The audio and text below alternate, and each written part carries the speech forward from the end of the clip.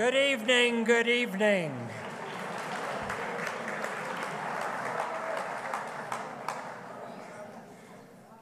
Welcome to the second seminar of the year. I'm Bob Stein, seminar's chair, and I'm very happy to see you all here. At the outset, I want to give a special shout out to our board. They're all volunteers. They do a great deal of the work which really make seminars happen, and they're smart.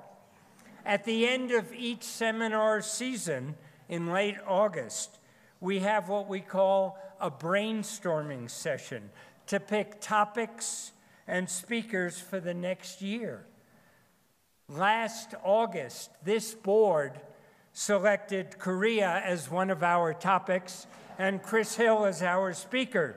They are perceptive. How about a hand for the board?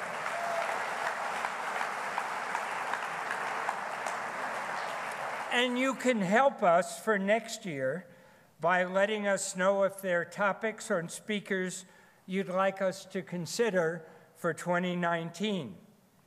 And I'd also like you uh, to please join me in thanking our program administrator, Deb Metcher, who often is the eyes and ears of the seminars, who works with us to make this seminar happen.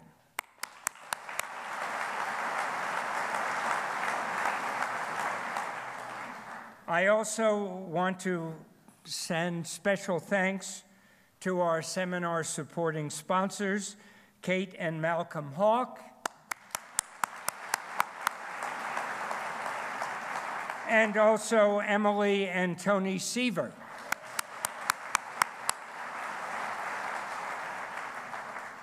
If you are a friend, thank you, and we still welcome new friends for this year.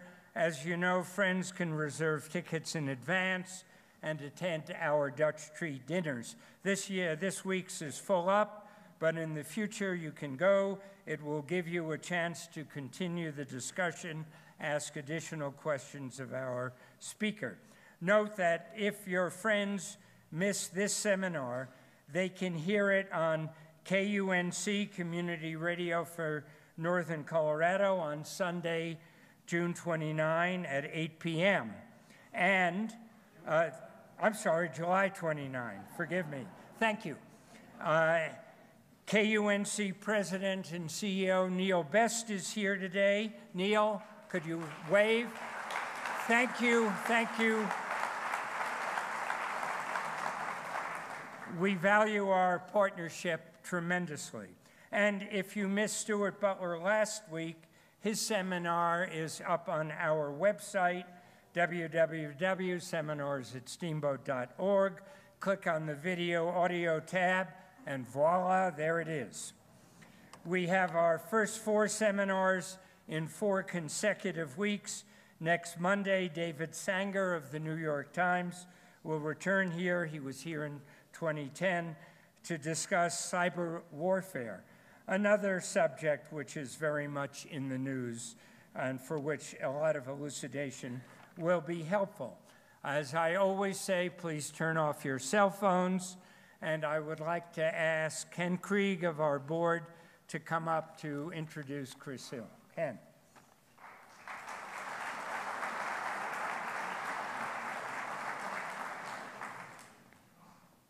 Thanks, Bob. Good afternoon, and let me add my welcome to all of you uh, to this timely discussion on diplomacy and action, U.S. options in North Korea.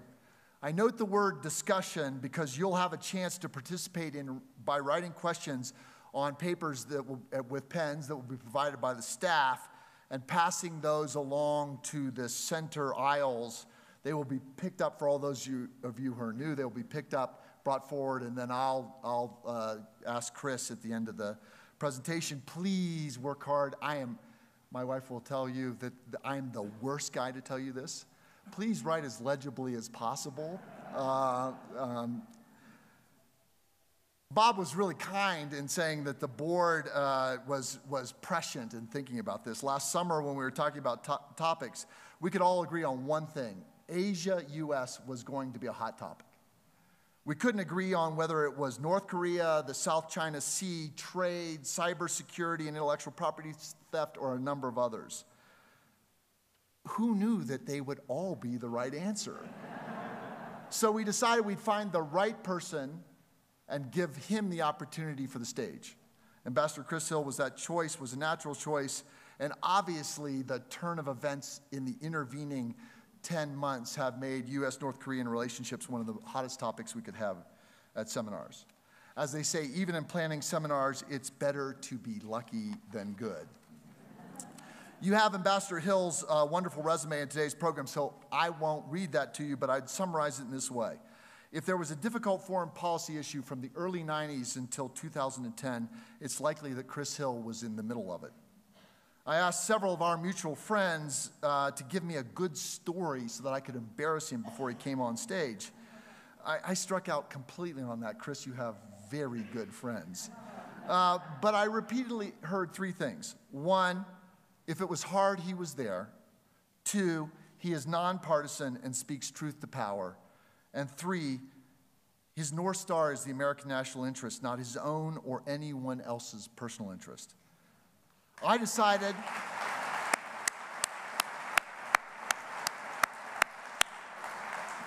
I decided that was a pretty good introduction, and I couldn't say it better. Ladies and gentlemen, please help me welcome Ambassador Chris Hill to the stage.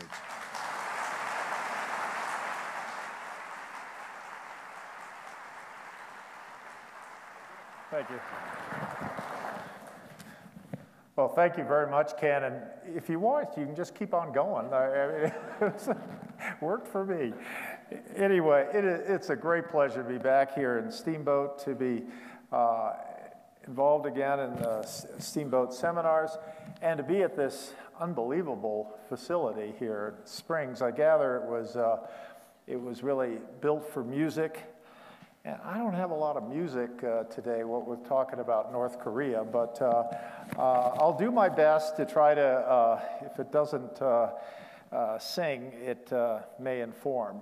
But let me just say, Bob Stein, thank you so much for, for um, inviting me and working with, your, with, with the team here to, to do that. And indeed, I thought this is absolutely not only the summer of North Korea, the month of North Korea, maybe even the week of North Korea, but probably not the day of North Korea. Uh, so I thought maybe uh, in the course of the Q&A, we can talk about um, uh, Helsinki. Uh, the, uh, the press conference from Helsinki. And so, uh, but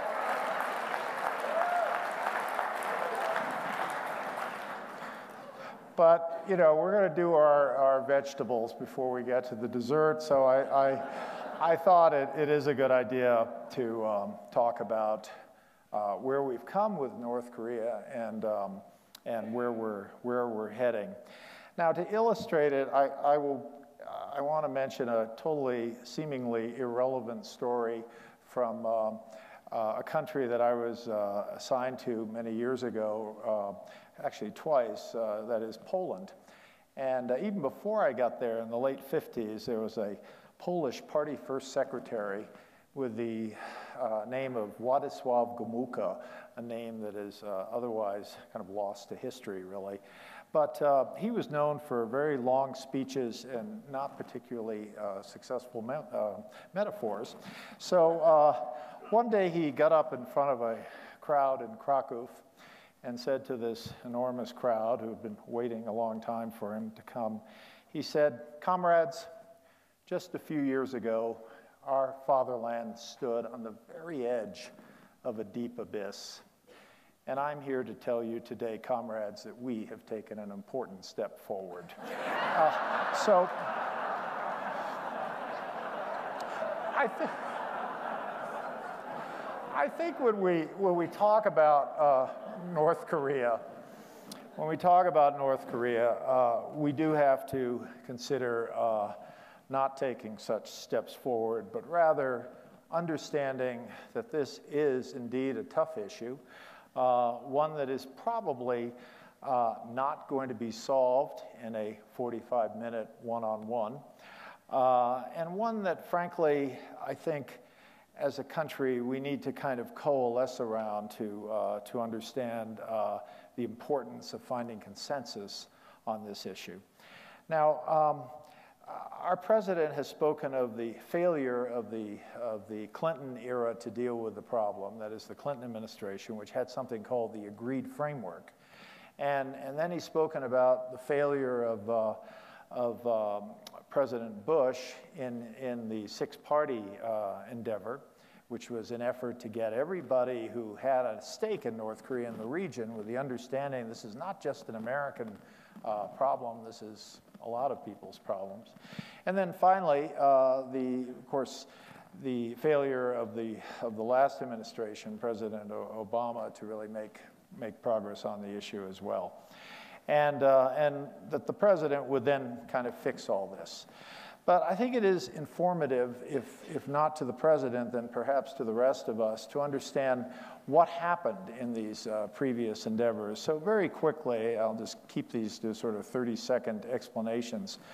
Uh, what the Clinton administration sought to do when North Korea, and by the way, this North Korean effort to uh, build a nuclear weapon, it didn't just start with President Trump calling Kim Jong un Rocket Man, uh, and nor did it start when President Bush hurt their feelings and said they were part of an axis of evil. Uh, it started really way back in the 60s, and this has been an effort by the North Koreans to build weapons of mass destruction. And the question to this day is, well, why? Why are they doing that? And um, I think many people think that they're building nuclear weapons somehow to keep themselves safe. I mean, after all, they are under threat of uh, attack from the US every day, and uh, therefore they need nuclear weapons such that the US would not think of attacking them. Well, I'm here to suggest to you that the US has not been thinking of attacking North Korea every day. If you talk to any Army planner in the uh, US military about what it would involve in going over that uh, uh, fateful 38th parallel again, what the invasion routes might be up to Pyongyang, how we would uh, manage uh, North Korean efforts to infiltrate South Korea and cause kind of havoc in our in our back of our lines. Uh, nobody would be looking forward to an invasion of North Korea. It's understandably uh, thought to be something that would be extremely costly, and so while it would be on the table, especially if North Korea retained its, its nuclear weapons, uh, it's not something that any president has really contemplated, not since, uh, I was going to say not since Harry Truman, but he didn't even want to go north of the 38th parallel. That was Douglas MacArthur's idea, who, and he belatedly informed the president after he had done it. So going to uh, uh invading North Korea can't really be the motivation for why the North Koreans have uh, nuclear weapons as some kind of defensive measure. After all, they're bereft of allies, they need this. So I'm going to uh, suggest to you that they have wanted nuclear weapons for a different purpose. And that is to say to the U.S., you are the ally of our cousins, the South Koreans, and you have threatened time and time again to come into a conflict if, if we and the South Koreans get into a pushing and shoving match, you've said that you will be there for the South Koreans, and we're telling you today, not so fast, because if you join in a conflict, if you uh, uh, exercise your alliance, frankly, our obligations under that alliance to protect South Korea, we will hold your civilians in your cities um, hostage. That is, we are prepared, we the North Koreans are prepared to launch um, thermonuclear weapons with uh, modern uh, uh, solid fuel rockets, multi stage rockets, and attack your cities. Well, the Americans have said, we've said for a number of years, hey, make my day. You want to attack us, you'll, you know, your country will be a parking lot in no time at all. To which the North Koreans have essentially replied, game on. And uh, when you look at North Korea and you listen to what they say, and not just the KCNA, the, uh, the um, Korean broadcast, the North Korean broadcast system that goes out to the world, but what they say domestically to their people is we North Koreans, We, are, we can survive a nuclear attack. We have so much underground. We have dug so many tunnels. It's quite remarkable to go to their subway system, as I have in Pyongyang, and you, you go to the. I asked, I didn't want to go to the Juche Memorial, which is a sort of kitschy thing with a red star on the top. They wanted to take me to a tourist site, and I said, I'd like to go see your subway. And uh, it went down, if any of you have been to DuPont Circle in Washington, try a subway that's three times deeper than DuPont Circle.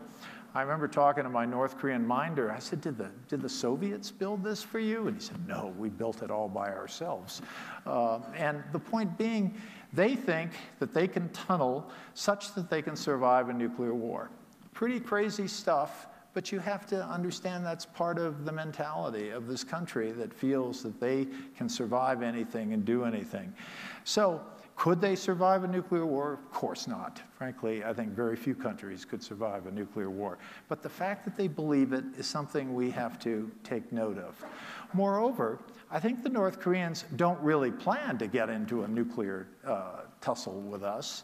I mean, they're, they are a lot of things, but they're not stupid. So, what would be the scenario? The scenario would be something like an American president says, You know, those South Koreans, 10th largest country in the world, one of the uh, 10th largest economies in the world, one of the most ferocious militaries. And for those of you who've had opportunities to work and to uh, see what the uh, Republic of Korea military is like, I mean, they are more capable than most of our NATO forces. I should say, most of our NATO forces before our president spoke with the NATO leadership. And, you know, now it's all different. But as of last week, they were uh, uh, probably more capable than any of our NATO forces. And so, so you can imagine over the course of time a North Korean uh, uh leadership that that makes it clear it's prepared to hit us with a nuclear weapon, makes it clear that it doesn't seem to mind trying that. And then a president, whether this one or the next one or the one after that, thinks, do we really need troops in Korea? I mean, surely the South Koreans can handle this on their own. And so, what would be the scenario there? The scenario might be that an American president would say something like, you know, we really don't need troops there, they can handle it, so let's start pulling the troops out. I'll get to what happened in Singapore, but uh, I think we need to understand that the long term, the North Koreans are playing a long game, and the long game is get the US out of, uh, out of South Korea. And so that is the purpose of their nuclear weapons. So I think the Trump administration, came, when they came in, they said, this is easy. We can fix this whole thing. And so, sure enough, uh, the president began talking about uh, nuclear war himself. Said, they better not, you know, if they think they have a big nuclear button, get a load of ours. And, uh, and so the consequence was, I think a lot of uh, Americans were thinking, gee, we were thinking of inviting the relatives home for Christmas, uh, but rather than talk about surviving that, they started thinking, can we survive a nuclear war? so it all looked very bleak. It all seemed that our country was heading to war.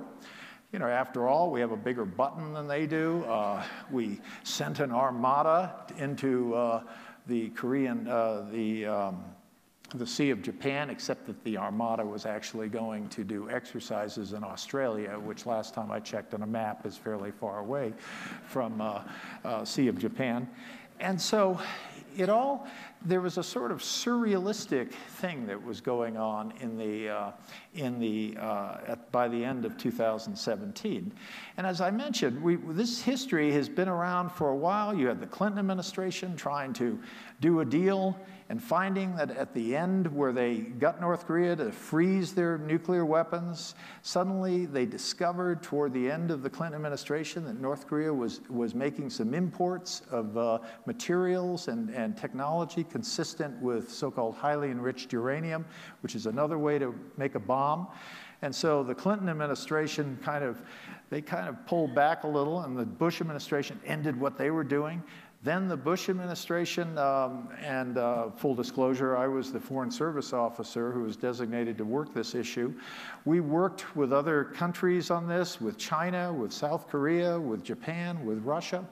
And uh, ultimately, we got them to shut down their reactor. We got inspectors in. We blew up the cooling tower. We did a number of things. And then when we got to the critical point of saying, okay, North Koreans, give us a list of what you got, they excluded any mention of, uh, of their uh, uh, highly enriched uranium purchases.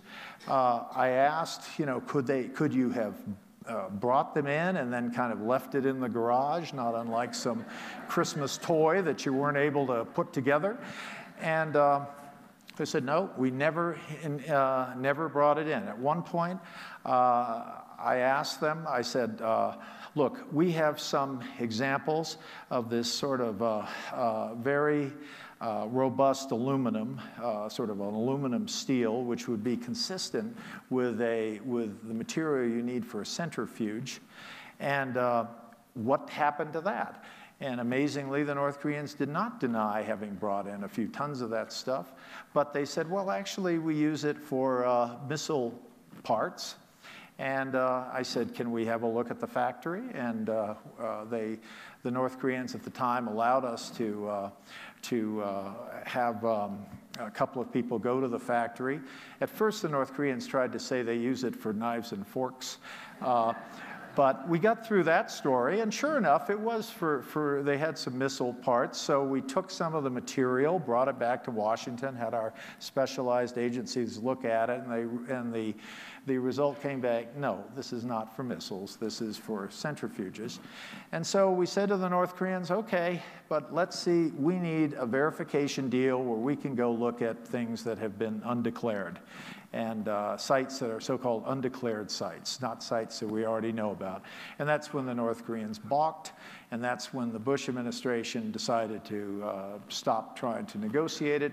It goes to the, uh, to the Obama administration, not a lot happened. So by the end of the 2017, it kind of looked like we were going to uh, get into some kind of shooting match with the North Koreans. And then amazingly, something happened on, on January 1st, uh, 2018, and that is that Kim Jong un gave a traditional, uh, an, uh, the traditional annual New, New Year's Day address.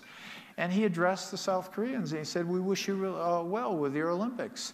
And uh, we would like to make this a safer uh, peninsula. And he made a lot of sort of friendly sounds.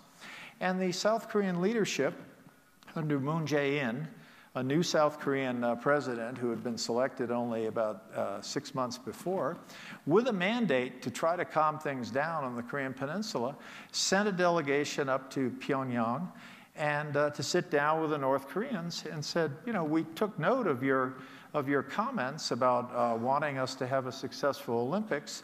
Can we work on that? And so, indeed, they had a good discussion about it. They worked out an arrangement by which the North Koreans uh, sent an Olympic team and sent an uh, enormous group of uh, cheerleaders.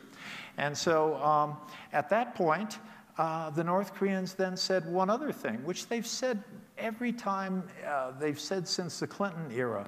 Of course, we would like to have a better relationship with America. We would be pleased to invite, uh, to have, uh, for uh, our leader to have a meeting with, uh, with President Trump. So the South Koreans, frankly, they knew that the same offer had been made to George W. Bush, the same offer had been made to Bill Clinton. The, the South Koreans actually took it right back to Washington. They stopped in Seoul, uh, repacked, and sent a delegation to, uh, to Washington. And they went into uh, General McMaster's office, the National Security Council uh, uh, advisor at the time. Uh, the current one is, is Mr. Kelly although I think it's even money whether he will survive the week at this point. But uh, anyway, McMaster uh, conducting this meeting in his office, and in walks President Trump and says, Oh, come over to the Oval Office. So the South Koreans, who are frankly a little conscious of protocol and, and rank, were a little reluctant to go into the Oval Office, but President Trump very warmly invited them there. And they told President Trump that uh, Kim Jong un would, like to, um, would like to have a meeting with him. And he said, without checking with McMaster or checking with the then Secretary of State, Rex Tillerson, a name otherwise uh, like Władysław Gomułka, lost to history. Uh, and uh, so, uh, without checking with anyone, the president said, sure, sounds like a good idea. So um, at that point, amazingly, the issue uh, became who's going to go out in front of the West Wing and make the announcement. Well, uh, none of the president's staff particularly wanted to do that. And so, uh, lo and behold, uh, the president asked the Koreans if they would go out and do it. And so the Korean um, national security advisor uh, went out and announced that President Trump would be meeting with the North Korean leader. Now, as you recall, it wasn't clear when this was going to happen, and there was a lot of skepticism about whether it was going to happen. But as you recall, it was quite a sensation. And then, of course, you had the North Koreans showing up at the, uh, uh, at the uh, Winter Olympics in Pyeongchang. And, you know, suddenly we're in a whole different world. Well, for me, this was a little rich, I got to tell you, because I can recall uh, President Bush, who uh, sent me to Pyongyang and sent me to 48 meetings with the North Koreans. In fact, I invited President Bush to Denver a few years ago, and he accepted and came to the University of Denver. And the first sentence I wrote in my letter to him was Dear Mr. President, a few years ago you asked me to go to Pyongyang, and now I'm asking you to come to Denver. and uh, it worked. It worked. Uh, when you're inviting speakers, you just do what you have to do. Uh, so, um, so it, anyway, uh, at the time, so President Bush really wanted to make some progress. He wanted to work with China. He wanted to get other countries in the, in the region involved because he didn't want a situation where it's just the North Koreans against the US. Because as soon as there's an impasse, people say, come on, Americans, be more flexible. Whereas if it's an impasse between one and five, that's a different matter. So he understood the math of the equation and uh, very much supported what were, became known as the six party talks. But um, when I um, went out to, for my first talks with the North Koreans, there's something you have called instructions. And your instructions come in a telegram from the State Department to, in this case, the embassy in Beijing, because the negotiations were being conducted in China and Beijing. And so the subject line was uh, instructions for Ambassador Hill for meeting with the North Koreans. So, fortunately, and this is how it works in the State Department, please don't tell Mr. Trump this, but uh, uh, the negotiator writes his own instructions. I guess President Trump would be okay with that since he was the negotiator at Singapore. But anyway, so I wrote a lot of, you know, what I felt I could live with. You clear it around the, the building. Everyone says, yeah, that's really what we, what we have in mind. Except that I had, uh, what you happen, what happens is you send a, uh, a telegram, an, un, an uncleared and unsent telegram around, you invite other people to join in with various comments. So I had a lot of uh, good advice, such as, if you are in a room with the North Koreans in any, in any meal or any setting and someone proposes a toast, thou shalt not toast. So if you're in China, and any of you who've been to China know you can't go 90 seconds in a meeting without someone raising Mao Tai uh, and, and doing bottoms up. And so I was supposed to sit there with my hands folded while everyone else in the room was toasting champagne or, or some Chinese uh, uh, drink. In short, I was getting instructions to stay as far away as I could from the North Koreans. You will not meet them except when the Chinese are in the room. Great advice like that, as if that's really going to uh, move the process. In short, you should keep them at an arm's, le- uh, arm's length. And in getting them to yes, you're essentially, I was being asked to sort of have them uh, stripped down while I give them nothing in, in uh, response. It wasn't going to work. But the irony, the rich irony of that is some of the people who wrote those instructions are the same people who are in the White House today, and I'm referring to the National Security Advisor, the new one, John Bolton. And uh, that is, I think, a very, we can see a very different approach as our president got ready for this, uh, for this meeting in Singapore. I can assure you the president wasn't saying to anyone, and when I go there, I'm going to refuse to shake his hand, I'm going to refuse to uh, reciprocate a toast, et cetera, et cetera. In fact, the president made very clear, I'm going to size him up real quick, and then I'm going to uh, make him my best friend, and then he's going to give up his weapons because he'll see the uh, proposition in, in, uh, that I've laid out. So um, off to Singapore they go. It was uh, there are a couple of dicey moments before they went to uh, Singapore. There was, for example, uh, the National Security Advisor, John Bolton, saying that North Korea should embrace the Libya model. Well, when I was uh, dealing with this back in 2005, John Bolton and many others also talked about the Libya model.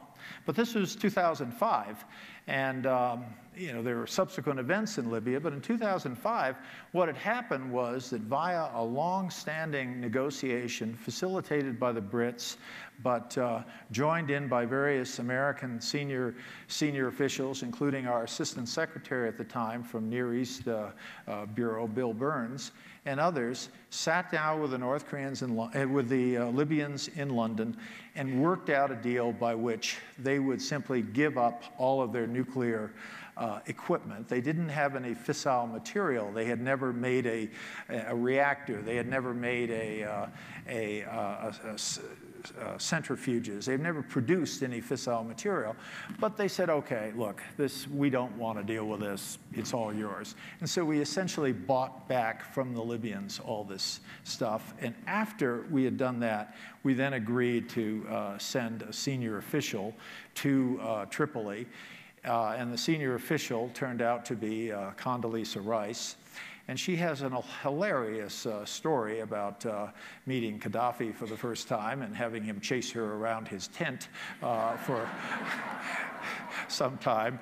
But she fulfilled her duty of coming to Singapore, uh, coming to Tripoli, and that was the contribution. That was the sort of quid pro quo, a senior official. So what uh, Uh, John Bolton, who was around in those days and since went off into being a news commentator. So he comes back into government. The first thing he says is they should accept the Libya model, except for the fact that a few things had happened in Libya in the meantime, including a rather unusual state funeral for Muammar Gaddafi. And so, needless to say, this did, this was not um, well received by the North Koreans. Now, of course, they resurrected what they had referred to. Um, this is rather unpleasant, but they, back in 2005, when they had their first encounter with John Bolton, they referred to him as human scum. Uh, they have, there's no end to the North Korean capacity to insult people. Uh, although they say, hey, we called him human, what do you want? Uh, so, uh, when they saw him up in the net again, and when they saw him with this, in their view, very mischievous uh, proposal that uh, they should follow the Libya model, they were not amused. And then a few days later, you recall the vice president, Vice President Pence, also referred to the Lib Libyan model. And so at that point, the North Koreans were sort of worried whoa, this Boltonism is spreading, and this is going to be a disaster. We're not sure we're going to go through with this. Well, the president very quickly put, put an end to that concern. First of all, he, in, he invited uh, uh, the uh, kind of second ranking um, North Korean Kim Jong Chol to uh, New York, where he met with uh, our Secretary of State, who by that time had already made two, I'm sorry, three visits to, to North Korea. And Kim Jong Chol brought with him a, a, a um, an envelope which had a message in it from, uh, from uh, uh, Kim, Jong, Kim Jong Un. And um, for me, it was kind of interesting to watch because they said, Kim Yong Chol said, My instructions are I must uh, deliver this message in person. Whereupon Secretary Pompeo um, told the president, and the president said, Of course. So Kim Yong Chol is invited to the White House. Now, I'll give you an example of what I was dealing with back in 2005, actually, it was 2007. I said to um, Condoleezza Rice, it would really help me if I could have a letter from the president. She ran it up the flagpole. The president said, I'm not writing no letter to Kim Jong il. And so the problem was, uh, of course, that I needed something to take to the, to the meeting. So I said, I counterproposed with Secretary Rice. And I said, how about if he sends five letters to all of the six party, all the other six party members, one of them, of course, to the North Korean leader, and then I'll carry that when I go to Pyongyang next week. So uh, Condi, who uh, we all called her Condi, she developed a pretty good uh, sense of rolling her eyes at some of these ideas, said, All right, I'll do it. And so, sure enough, I had a letter from President Bush, and I took it to North Korea. And I said, I have a letter for your leader. Take me to your leader. And uh, because my instructions are, I must deliver it to him in person. So the, uh, the uh, deputy foreign minister said, It's not possible, he's out of town. I said, That's not a problem, I will wait. And then uh, they said, he is far out of town. and I said, not a problem. I will go wherever he is because I have an important letter. It was actually sort of the same, it was the same letter that everyone else got, but I thought it was worth a try. And uh, so the North Koreans dug in and we're about two hours from our departure. We were there for two days. So I spoke to the representative on my team from the National Security Council staff, uh, Paul Haenle, and Paul said, You know, we're supposed to deliver that letter. And he said, It was a nice try on having to give it to, the, uh, to uh, Kim Jong il himself, but it really was not in our instructions. And I said, Don't do it too loudly for the walls. But so we find, so Eventually, with two hours to go, I went to the foreign minister and I said, I have great news. We've received new instructions, and I can give the letter to you. Um, anyway, the North Koreans didn't have to go through with any of that. Uh, they uh, took their letter, which was, by the way, a normal size letter, except it was in a uh, uh 13 by 20 envelope. It looked like one of those game show things, you know, you want a new dishwasher or something. But uh, and the president agreed to meet him. So all seemed to be okay, but I was, I was asking people, um, do we have a, uh, some sense of what they're prepared to agree, uh, agree to? Because I thought it was kind of important. I mean, we've, all, we've gotten all this from the South Koreans, who really want this whole problem to calm down but we hadn't heard really directly. Pompeo had been there, but at no time did he say something like, they told me that. He said, they indicate that. You always have to be careful when people use words like indicate rather than said. Uh, and uh, so, sure enough, there was no real, real um, indication, if you will, that they were prepared to give up their nuclear weapons. Uh, uh Pompeo, uh, Secretary Pompeo asked uh, uh, a person who was my deputy, now the ambassador in, in uh, Philippines, uh, Sung Kim, if uh, he would uh, uh, go to North Korea in the week before the, the um, Singapore summit. I wrote to Sung and I said, I, I, wrote to him and I said, Sung, I got three words for you draft joint communique. Let's see if we can have an agreement on what's going to be the outcome of the summit. Because, you know, normally a summit, especially a summit which is at those kinds of high stakes, you know, when you're pulling a rabbit out of a hat and everyone says, my goodness, that's brilliant. Well, it's brilliant except that rabbits don't live in hats. Somebody took some time to stuff the rabbit down the hat. And so, and those people are called diplomats. And, and so, so, so I, and, and Sung, uh, who had worked with me for too long and knew that when I wasn't doing baseball metaphors, I was doing metaphors like that, he said, I don't know, something to that effect. So, anyway, the president arrives in, uh, in Singapore, and this whole edifice of our policy toward North Korea, that of isolating them, was gone.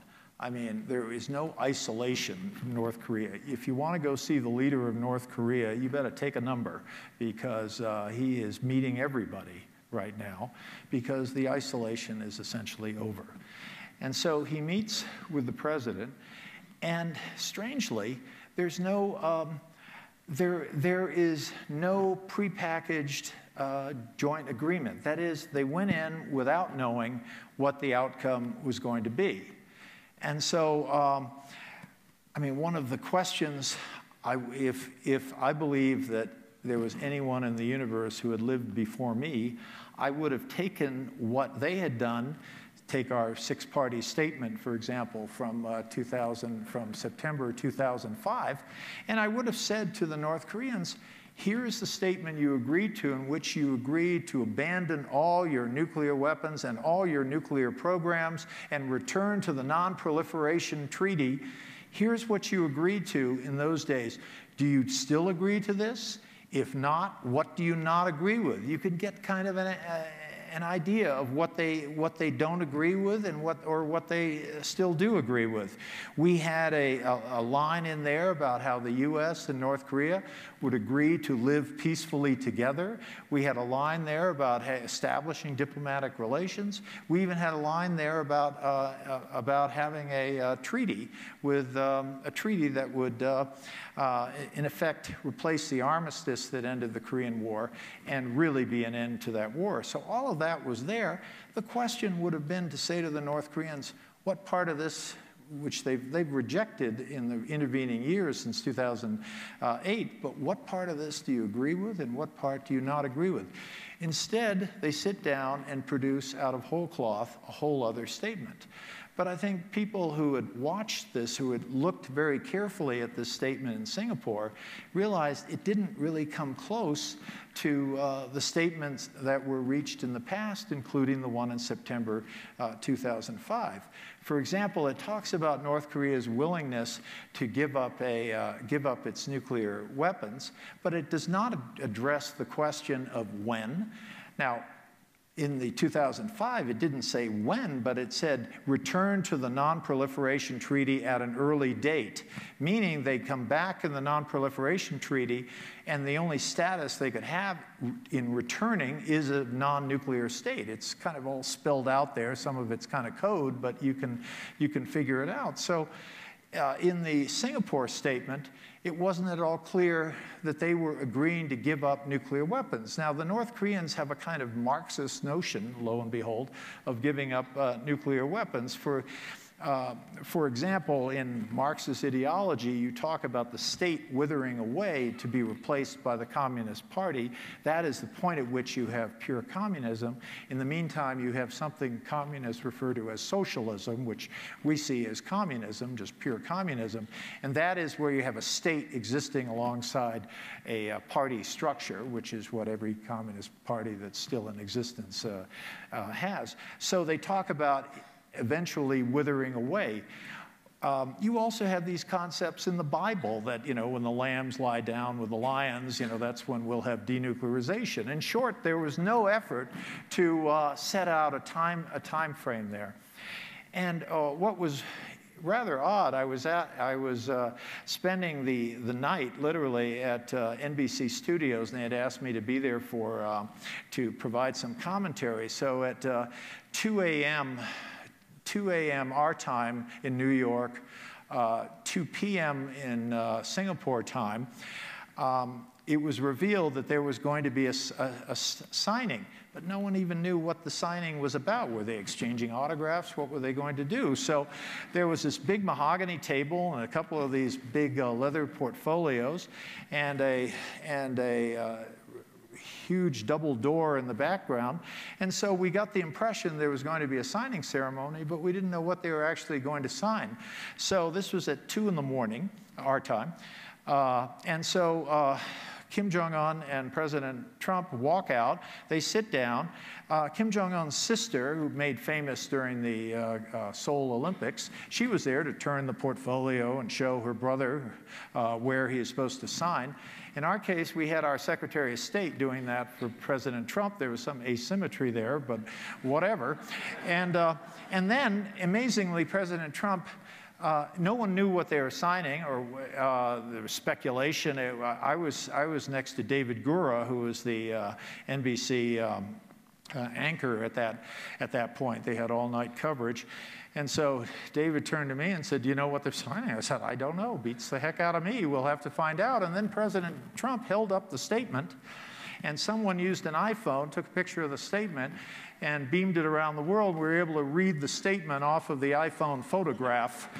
and uh, And so uh, I'm sitting there with David Gura at this NBC at 30 Rock at this uh, large table, and someone comes in and throws a statement at me, and I start reading it, and I realized this was a fairly incomplete thing, and that uh, there was certainly a lot of goodwill involved in the statement. You could see that from the North Korean side, you certainly see that from President Trump's side, but it was not a roadmap, really, for going forward. So um, what happened uh, was the next question, and people who know this kind of stuff, David Sanger from the New York Times, you know, there are a lot of these journalists who followed this program for this issue for half their, half their lives.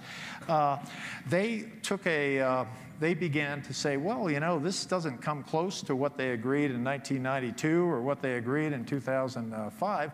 And the only thing that was clear about it was it said, Secretary Pompeo will continue the diplomatic work. And then when you say, okay, let's see if the North Koreans did any prep work ahead of this time. And then they said a player to be named later, or words to that effect, from North Korea would be in charge of their delegation. It's turning out to be Kim Jong Chol, but it wasn't at all clear from the, uh, from the statement. So after this whole Singapore fling, if you will. Uh, the decision was then, we're going to go ahead, but how do we go ahead?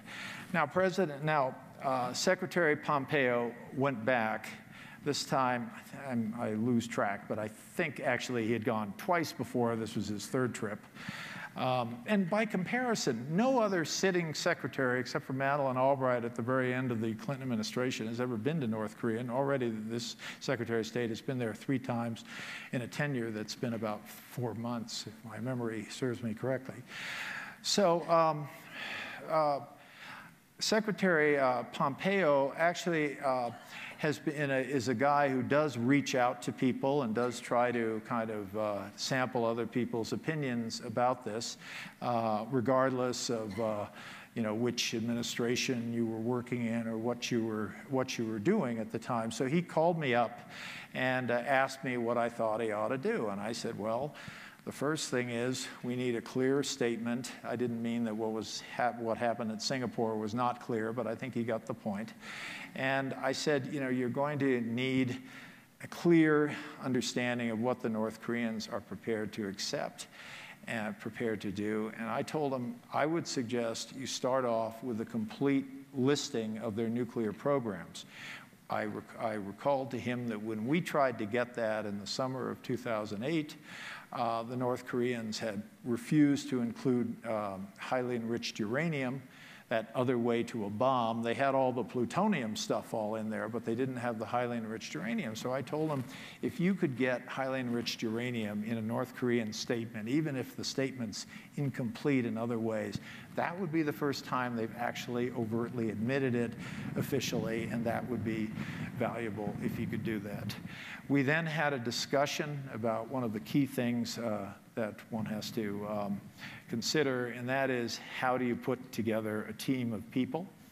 Um, he suggests, he, uh, I think, representing the fact that he is, you know, by certainly by standards of this administration, he is very ecumenical. He wants to get as many people involved as possible, try to work with others.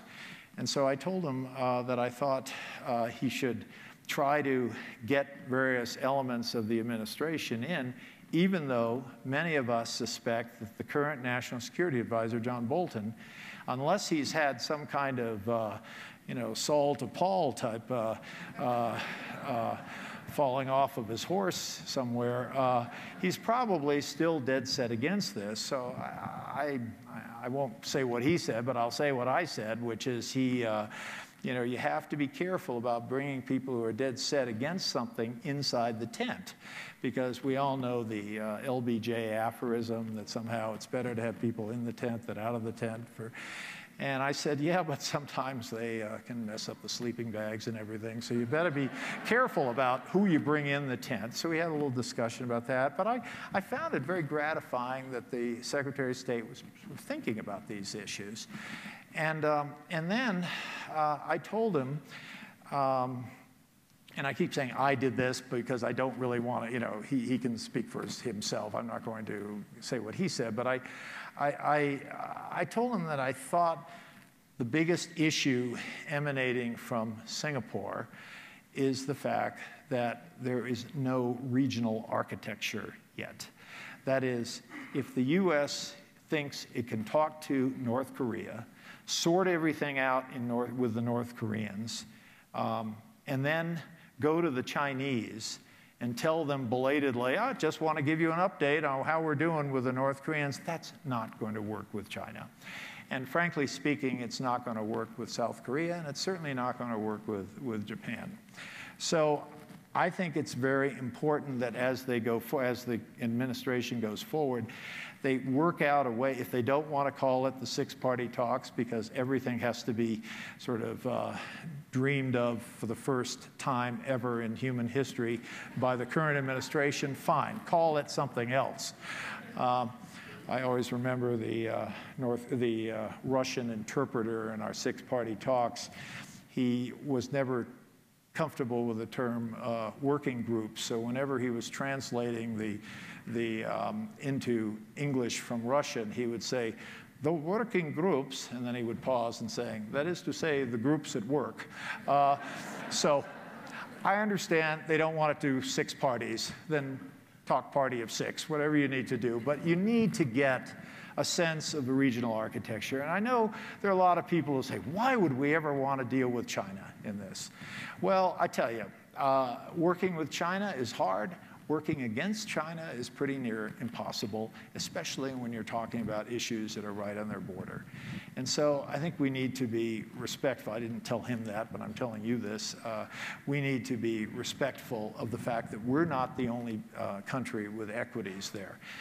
And I did say, uh, because while this wasn't in that Singapore statement, uh, it was in the president's press conference in Singapore, in which he said that he would um, put an he would cancel uh, the U.S. Uh, Republic of Korea exercises, and uh, I suggested that. Um, First of all, the president learned to speak some North Korean because he said, uh, he said, we will cancel the uh, war games uh, uh, which are the uh, hostile uh, war games, which is only an expression the North Koreans uh, use.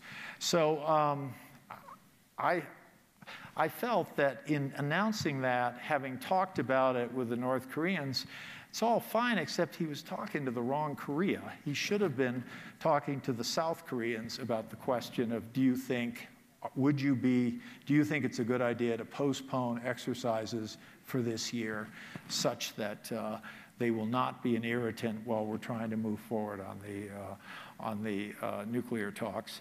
And I'll bet the South Koreans would go along with it. I don't think they would be thrilled about it. The North Koreans asked me all the time about canceling exercises, and I would uh, say I got to the point, I got kind of sarcastic with them, which is uh, something that happens when you deal with the North Koreans. And I said, you know, I do have a regret about our exercises. That is, that we didn't have them in the spring of 1950. So, um, so I can, they have, they have approached, they have asked this question about exercises of everybody. And you can picture the scene saying, and we request that the war games conducted uh, by the uh, US and their so called allies be canceled. I can imagine them kind of reading this from rote, and the president says, done. And they kind of look up, saying, my gosh, first time ever we've gotten an affirmative answer to that question. I think it sends a, a signal of weakness, and I worry about that. But I think what the president then said was even more worrisome, which is, we want to bring our troops home. And uh, that comment uh, just went through South Korea, even among people who think North Korea is the greatest place in the world. And there are, sadly, some South Koreans who really feel that if the foreigners would only get out, South Korea and North Korea could work this out. But even those people, I think, had a little problem with the idea of withdrawing uh, U.S. forces. And, you know, an American, anyone can make a comment like that, but when you're president, when you are president and you make that comment, a lot of people are listening and taking it with the utmost seriousness. First of all, the Japanese. The Japanese have worried about this whole process from the start. I was in Japan uh, last uh, November, and they said, you know, we've been very tough, but we really are worried that your administration, we will be out there very tough, and then your administration will change, and we will, we will change its view, and we will still be out there on our own. The Japanese had a lot of concerns and have even greater concerns. So it fell to Mr. Pompeo not only to visit North Korea again, but to also try to tamp down these issues with the neighbors. And uh, I think in, in the process, try to come to terms with the need for some sort of architecture in the region. I guess the, the fundamental question we all have is, is this going to lead to anything? I mean, after all, North Korea has been at this for 60 plus years. And will they give up their nuclear weapons? I mean, this is the question everyone asks. Um, my own view is yes. It is not uh, an unqualified yes. They're not going to say it at a 45 minute meeting in Singapore. Uh, they're not even going to say it in a course of a two day uh, uh meeting in Pyongyang uh, with the Secretary of State. But I think the fundamental proposition that has to be put forward to the North Koreans is would you be better off with these weapons or without these weapons? With the understanding that we put forward a series of very tough measures. We put forward the idea that without these weapons, if you give up these weapons, we are prepared to do a lot with you, including civil nuclear program, including civil nuclear, that is nuclear, nuclear reactors to help power. So we're prepared to do to that. We're prepared to help you trade. We're prepared to integrate you in the international uh, community. We are not prepared to do any of that if you continue with your nuclear weapons. And if you do continue with your nuclear weapons, we will come after you wherever you are. If you have, think you have trouble opening bank accounts today, just wait, because we will make sure that no bank in the world is going to ever open a North Korean bank account again. If you try to open a bank account on the moon, we will build a rocket ship, or maybe those SpaceX people will build a rocket ship, go, back, go up to the moon, and shut down that bank account as well.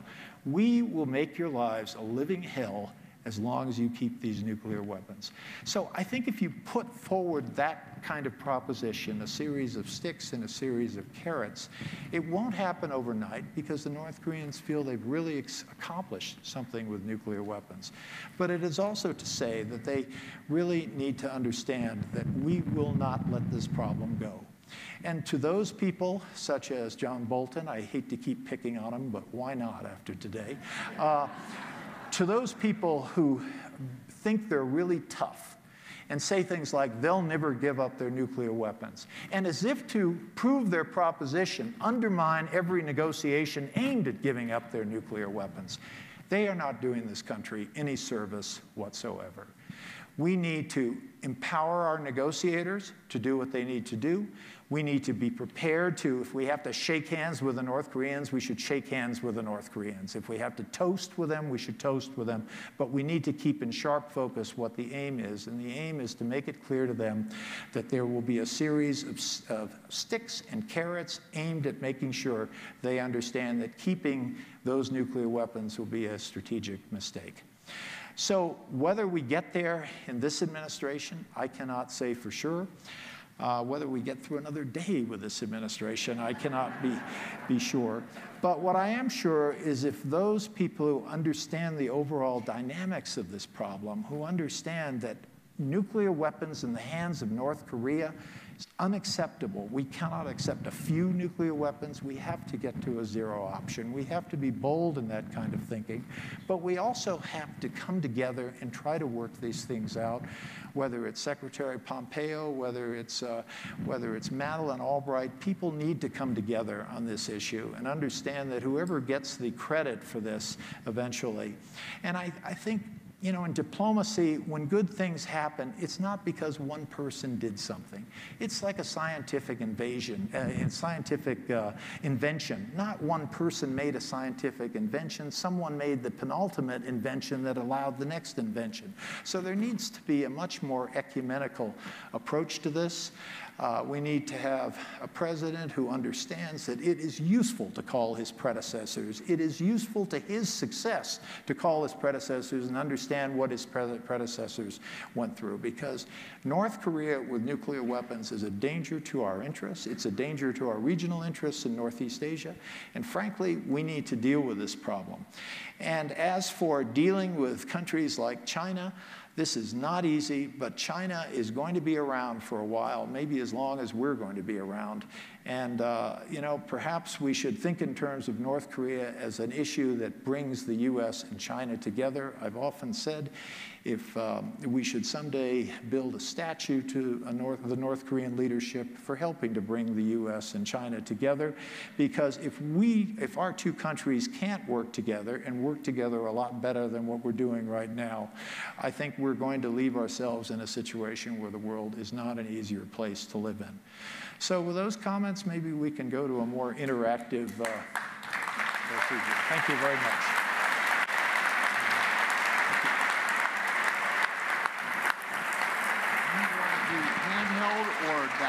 Hey, this is fine. Am I good on time? Did I, did I,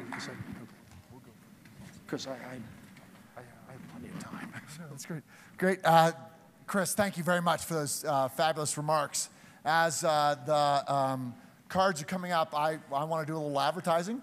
In the back of the room, there's a, there's a, and then later uh, on, if they're not all sold out, down at, uh, down at the bookstore downtown, there's Outpost, a diplomat at work where you can get 25 years of this experience, not just one, one set. But uh, I picked it up today. I know what I'll be doing on my next couple of trips. By the way, Ken, I think writing a book is one of the most shameless businesses uh, one can do. But I, I do want to make the advertisement. I wrote every word of that book. And I, I you know, uh, I did use spell check, but. Uh, Hopefully, you use an editor now and then too. but I wrote it all. Fabulous, thank you. Well, you opened it up with, I think, the question that everybody has on their mind. Uh, in the last three weeks, we've had, four weeks, we've had a challenging G7, we've had a difficult NATO meeting, and today we had uh, an, an interesting session. Your thoughts on that? Yeah, I, you know, when the administration started, I thought, you know, every administration goes through a learning curve. And I thought that given the fact that our president has not had uh, government service or military service, um, I'll stop there, uh, that this would be a steeper learning curve than, than uh, some of the others. I, I, think I was way too optimistic. And uh, I think what we're seeing, what we saw in the treatment of our allies, uh, which actually started with uh, Justin uh, Trudeau um, and has continued throughout, is it's, it's a president who I, whatever one thinks of his personal attributes, he, is, he has not understood the meaning of the fact that he serves the state. And when you serve the state, it's, you know, you can have personal opinions. I mean, uh, believe me, if you had invited me 10 years ago, I wouldn't have said uh, a tenth of what I said today because you represent the state and you have to understand that there are issues that are, uh, you know, that represent U.S. government policy and you have to be respectful of what U.S. government policy is. And you don't say, well, you know, the state, that's me, and I'll just make my own policy. And so I think to some extent the president has not come to, come to, come to grips with the fact that he's the chief executive. And as such, um, he has to um, manage others, manage others' uh, opinions, and sometimes different opinions. I can remember George W. Bush I wanted him to raise some aircraft issue. We were trying to sell uh, F 16s to Poland. And I said, I really want you to raise uh, the, those, uh, the issue of selling F 16s to Poland, which, by the way, were made in, in Fort Worth, uh, Texas. And he said, You really want me to mention airplanes at this summit meeting with the Polish uh, president? And he, was, he didn't want to have to do that, and he felt it looked bad because he's talking about planes that are essentially fabricated in his own state, and he kind of felt that was the wrong thing to do. And, and um, a number of people, including Secretary Rice, made the point that, uh, look, we are up against competition, and they press uh, for their planes. And besides that, we want Poland to have NATO plane, uh, an American plane, so they can fly with us. And that is part of why uh, we have allies, so that we can, you know, fight. Uh, side by side. And the president did it, even though it was completely contrary to his instincts. I think uh, this President Trump needs to be more respectful when people come up and say, you got to do this. He may not like it, but he needs to understand that we have policies, we have a government where people have thought these things through. And so I think what we've seen in the last uh, few weeks is a president who's become, it's gotten worse and he's become a little less tethered uh, than before. And I'm afraid it's not going to get better until some other people step up and show some guts and be prepared to say, no, that's wrong. Um,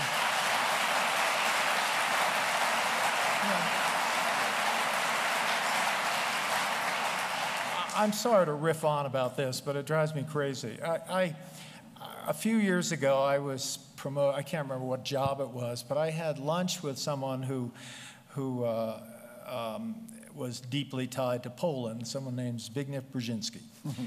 and uh, Brzezinski, uh, I had known him since I was Polish desk officer, and he'd very kindly see the Polish desk officer, saw me, saw my predecessor, saw my successor.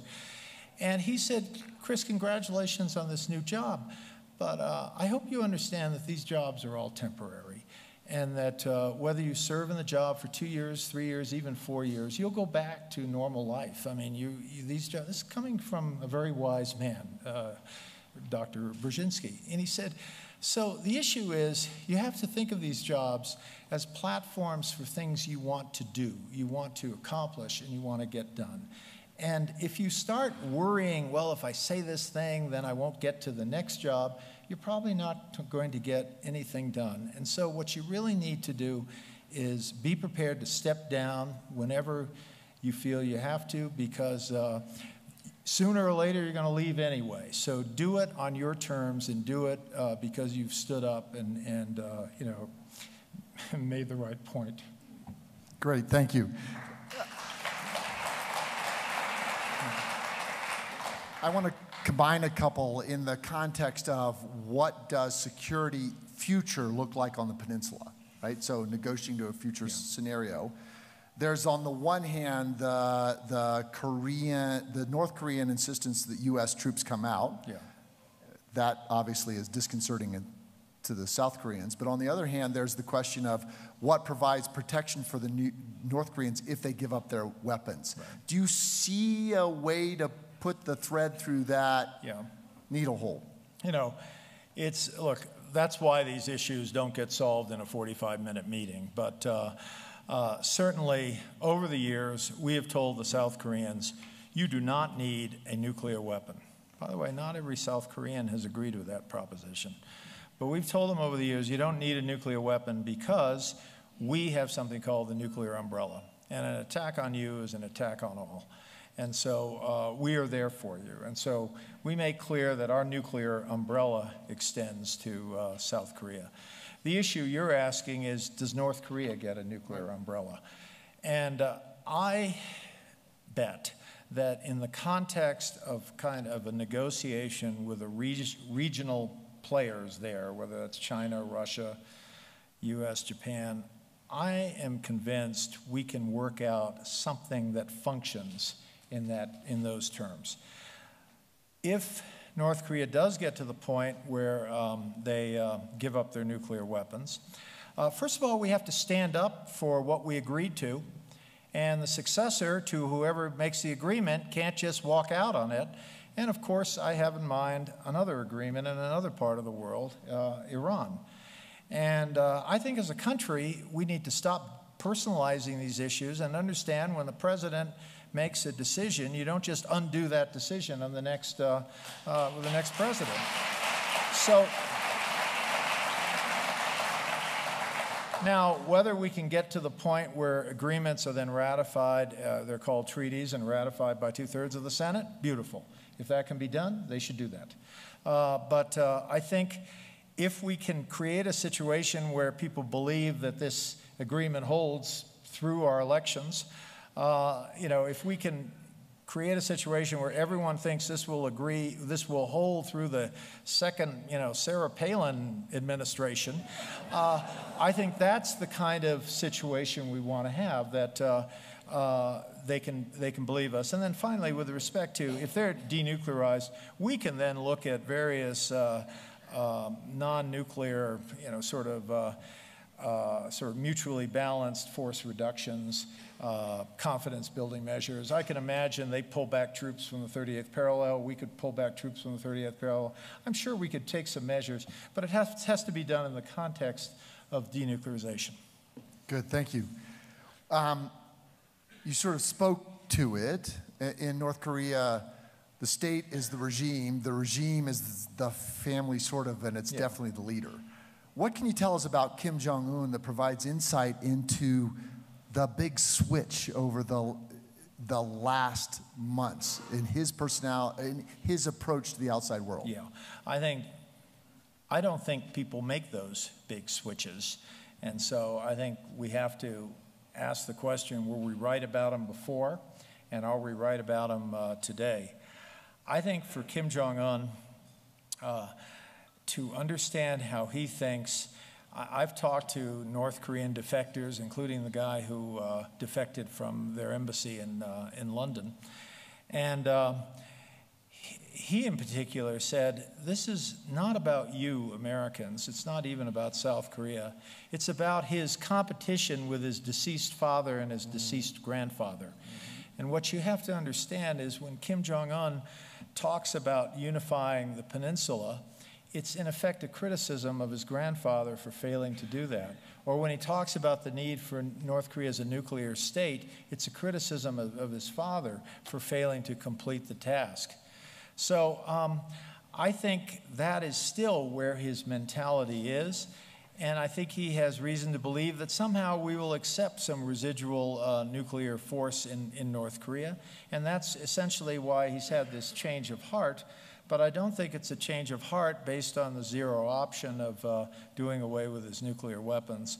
And uh, I think that process, which as I laid out a few uh, minutes ago, I think is we can convince people that they have better life without nuclear weapons and with them.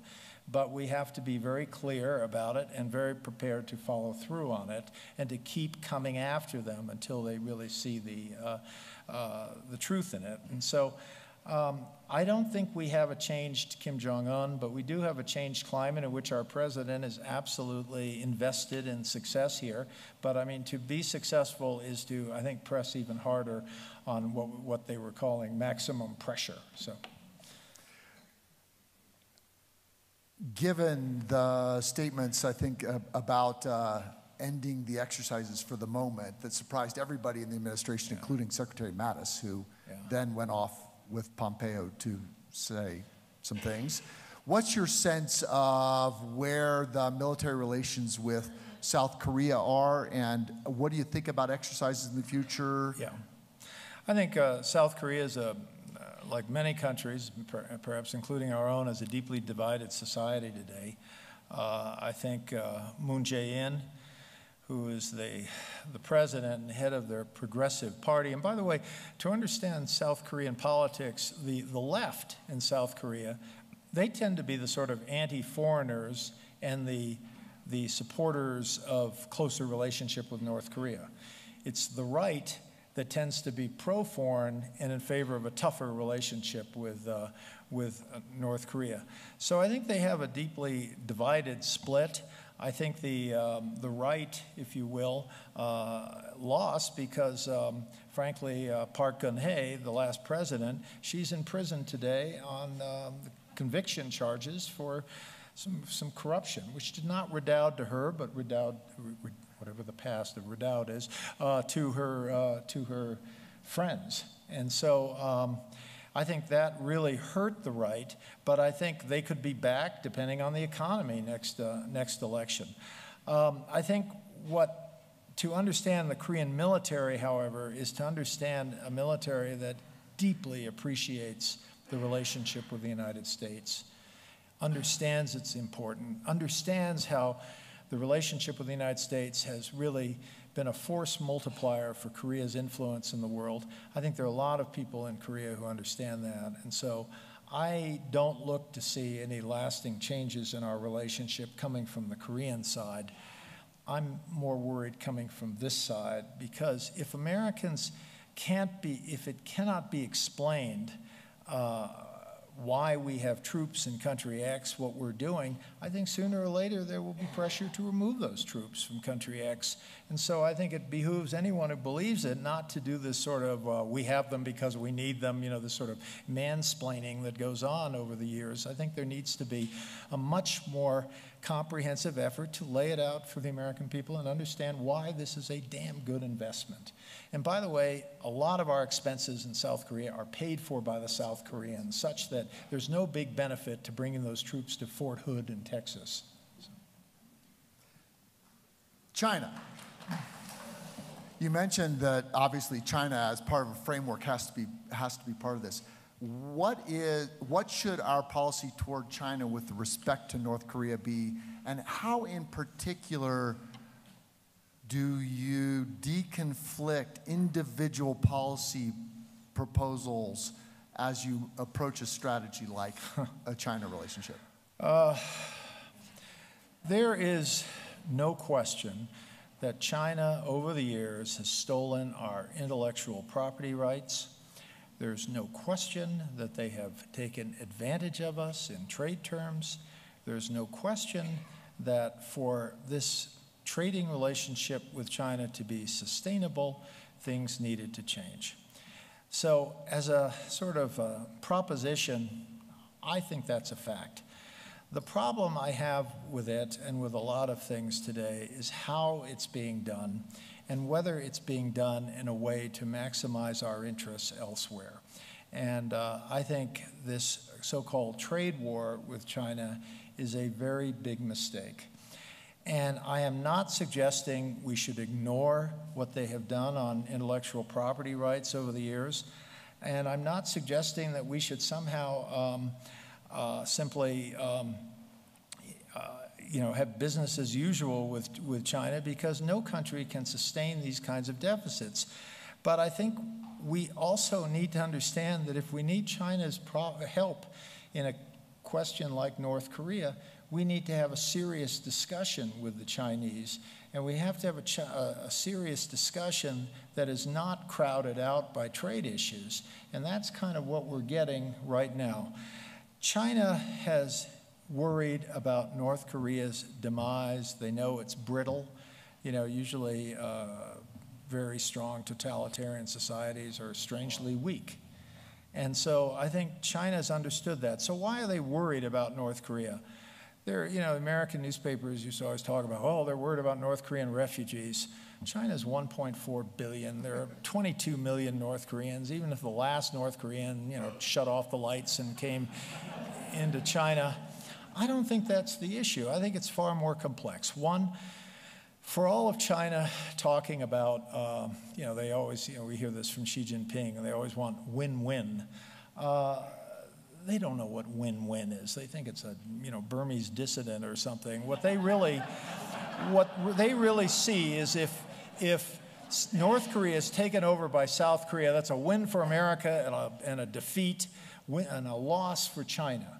And I think they worry very much how that would look. It's not that their system has anything to do with the North Korean system, it doesn't. But uh, the perception is that was their part of the Korean Peninsula, and we have our part, and our part wins. That looks bad for them. So I think that goes on.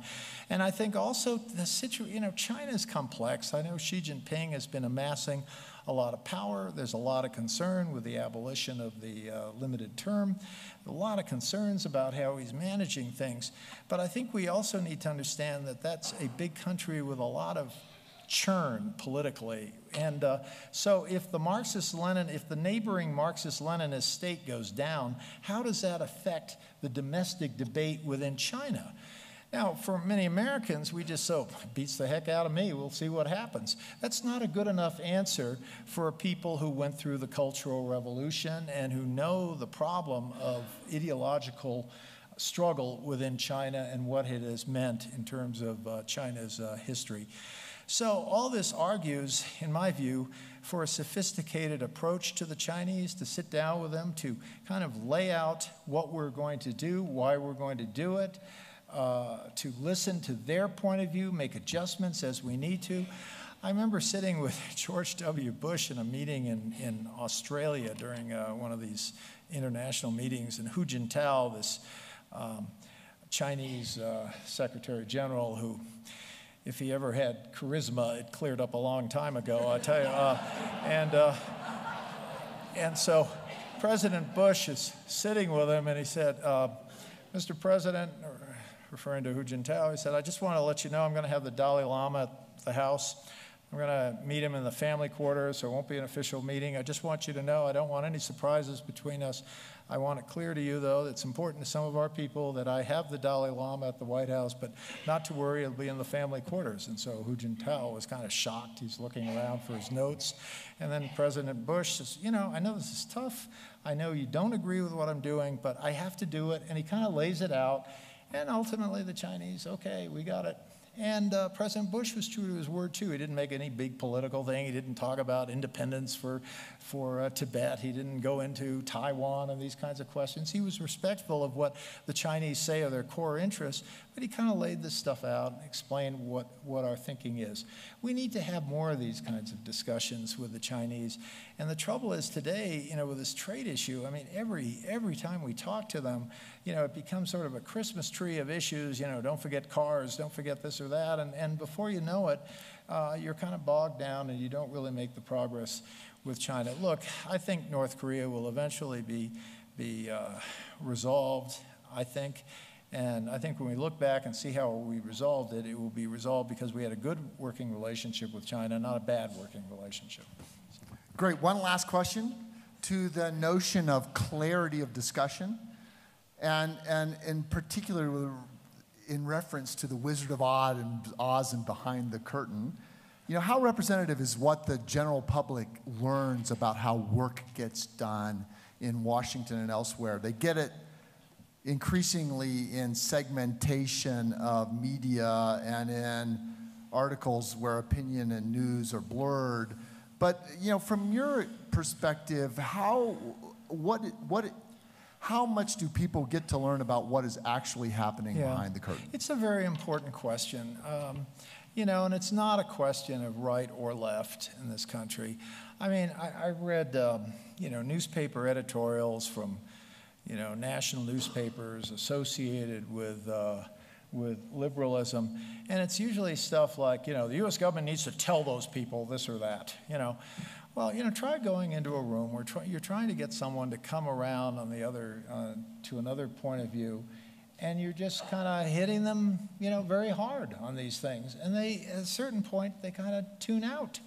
You know, you've got to be willing, you know, even in that example I gave of the Dalai Lama, the president asked, I mean, he talked to them. He said, look, this is what I want to do, because, you know, and, and they got it. I mean, and I think there needs to be, uh, you know, we, we are, we're a country, you know, you ask many people abroad, you know, what do you think of Americans? And, uh, you know, and you know, traditionally, you wouldn't have people answering, well, Americans are extremely ideological and you can't do business with them. That would not have been the answer in the past. It was sort of Americans haven't uh, been so involved with the history that they carry grudges forever. Americans actually have a kind of ingenuity to them and they try to get stuff done and they're really in, in favor of kind of moving forward on issues. That, that would be kind of our reputation, a sort of, you know, we, we put together a lot of things on the fly, but we're sort of a MacGyver nation. You know, we, okay, how do we solve that? Where's my Swiss Army knife? And, and you know, that I think has traditionally been our, our our role. We're not ideological, but I think this, you know, I'm all in favor of democracy, and don't get me wrong for a minute here, but, but you know, uh, it's not a secular religion either. And uh, I think, uh, to me, it's the far and away the best way to protect human values, including human rights, and I, I recommend it for everybody, everybody. But for us to be going around smacking places that somehow didn't get it the first time, or trying to introduce it with a tip of a bayonet, it doesn't work. I, I mean, like a lot of things in life, it has to be accepted by the uh, recipient of the message. Uh, and so I think to some extent our country needs to calm down a little. You know, this, I think one of the biggest problems is this kind of notion we have as, as victims. You know, I mean, for most of the world, when they look at America, they don't think of us as, you know, victims. But for many Americans, you know, well, we're try, tired of people pushing us around and running up their trade surpluses with us, and we just can't, you know, on and on about, you know, that we're somehow the most aggrieved country in the world. And, uh, you know, there's this, oh, what's that country western song, I'm proud to be an American, where at least I know I'm free. At least you know you're free? I mean, how about the biggest houses in the world, the best in income in the world? I mean, what's the matter? Why do you say at least? There are a lot of great things about this country. And so, to some extent, it's going to involve a kind of regaining of our self confidence. Uh, and we need that because I think a lot of it is lacking. We lack in self confidence. And we also, you know, uh, I think we have the best model. We sometimes make, make mistakes, but I think we have the best model and let people come to that view rather than go around yelling at them until they get so sick of us they say, sure, sure, we accept.